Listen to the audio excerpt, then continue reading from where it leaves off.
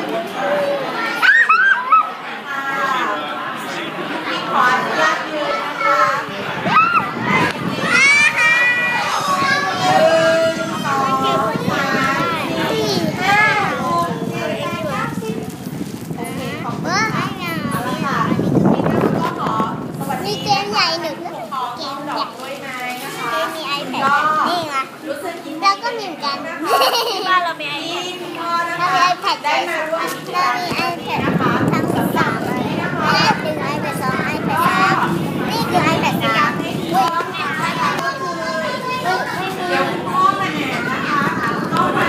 มีเกมกันนะคะให้เกมที่ก่อนเกมแล้วให้เราพอแล้วเราให้สามต่อโอ้ยนั้นเราก็ได้สามสี่เดี๋ยวจะให้คุณพ่อนะคะก็ไปที่เด็กๆนะคะ อยากเรียนไว คุณพ่อนะคะแล้วก็เปิดให้คุณพ่อนะคะเขียนต่อเด็กๆไว้นะคะเพื่อให้วันแม่นะคะ แล้วเดี๋ยว เราจะเอามาอ่านกับเด็กๆในชั้นเรียนนะคะสำหรับวันนี้นะคะ ก็ไม่มีกิจกรรมอะไรเป็นพิเศษนะคะ แต่ก็จะมีกิจกรรมที่ช่วงนี้นะคะ เราทำร่วมกันทุกวันนะคะ นั่นก็คือการท่องเดือน 12 เดือนนะคะเป็นภาษาอังกฤษนะคะ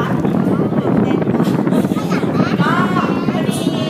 ที่ให้เด็กๆท่องนะคะ เพราะว่ามีเหตุค่ะเมื่อเทอมที่แล้วเพื่อนเจนะคะทำการทดสอบนะคะ ปราก ฏว่าในห้องเรียนของเราห้องได้แค่สามคนนะคะ ก็เลยวันนี้ก็เลยจะขอ